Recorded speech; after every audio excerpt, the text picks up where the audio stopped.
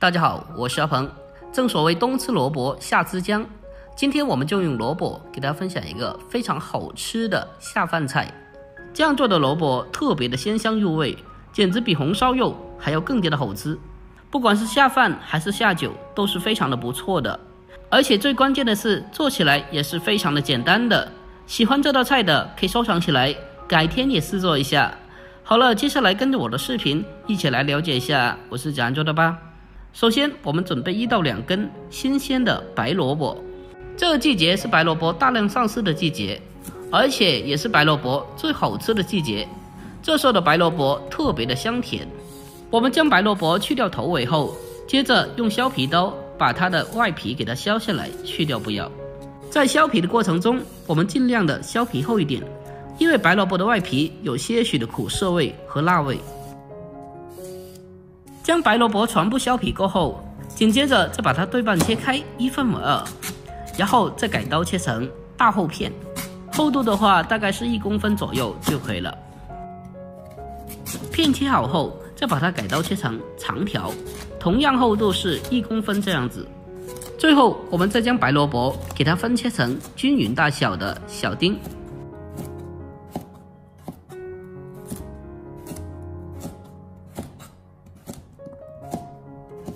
我们将白萝卜全部改刀切好后，先给它装在盘里面备用。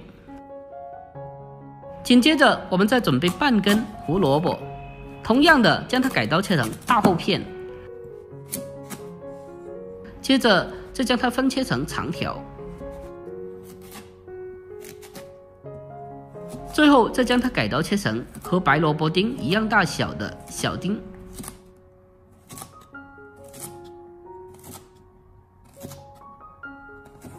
胡萝卜丁切好后，先把它装在小碗里面备用。紧接着，我们再准备少许的五花肉，先把它改刀切成大厚片。五花肉在切之前，可以先给它冻一下，这样的话在后续更加好切。这时候，我们再把五花肉改刀切成长条，最后再将它分切成小丁，大小的话跟萝卜一样大小就差不多可以了。我们在烹饪过程中搭配少许的五花肉，可以让萝卜吃起来更加好吃。全部改刀切好后，先把它装起来备用。下面再准备青红辣椒各一个，把辣椒去掉头部以后，接着给它对半切开，一分为二，然后再去掉辣椒籽。去掉辣椒籽后，再将它分切成长条。最后再同样的将它分切成小丁。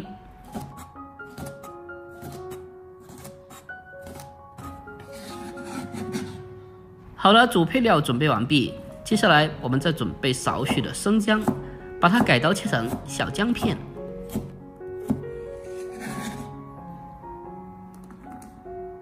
再准备少许的葱白，将它改刀切成小葱段。把姜葱切好后，先将它装起来。下一步，再准备一个小碗，小碗中添加适量的蚝油，还有少许的生抽，还有鸡精少许，白糖略微多一点点，再添加适量的食盐，胡椒粉一点点，最后再往里面添加半勺的玉米淀粉，还有稍微多一点点的清水，然后再用勺子给它搅拌均匀，让调味料充分的化开。我们提前的准备个料汁，可以大大的缩短烹饪的时间，避免烹饪的时候手忙脚乱的。搅拌均匀之后，先给它放开一旁备用。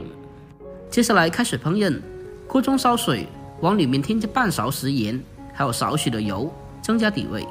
接着再往里面添加一勺白糖。等到水烧开以后，再把白萝卜还有胡萝卜放进锅中焯水。萝卜在焯水过程中。不时的用锅铲给它轻轻的推动，让萝卜可以均匀的受热和成熟。这一步我们需要先把萝卜给它焯水一下，因为白萝卜中含有些许的苦味和辣味，所以焯水的作用可以去除白萝卜的一些异味，让白萝卜吃起来更加好吃。萝卜焯水的时间大概是两到三分钟左右，需要将白萝卜完全的焯透，将白萝卜里面自带的些许苦味和辣味完全的焯水出来。将白萝卜焯水两三分钟以后，接着再用漏勺给它迅速的控水捞出来，先给它装在盘里面备用。下一步再重新起锅，下切好的肉丁，开小火给它翻炒一下，把肉丁翻炒至变色，给它炒出多余油脂。把肉丁炒出油脂后，接着再把姜葱给它放进来。再继续的开小火，给它不停的翻炒，把姜葱给它炒香，爆出香味。炒香以后，紧接着再往里面添加一勺蒜蓉辣椒酱，再添加少许的生抽酱油，然后再继续的给它不停的翻炒一下，把它的酱香味翻炒出来。炒出酱香味以后，紧接着再把焯过水的萝卜重新的回锅，然后再沿着锅边烹入少许的米酒。去腥增香，接着我们再继续的开火，将它快速的翻炒一下，把它炒出锅气。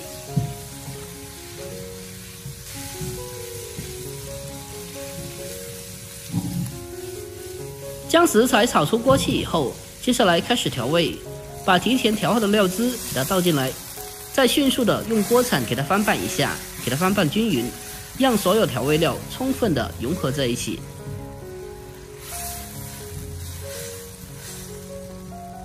翻炒均匀之后，再扣上盖子，用大火将它烧两分钟，让萝卜更好的入味。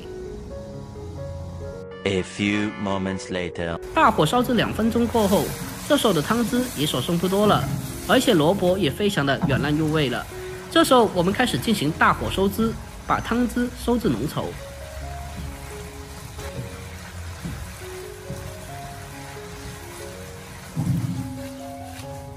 把汤汁收至浓稠以后，接着再把青红辣椒给它放进来，然后再次的给它翻炒几下，把青红辣椒片翻炒至断生成熟。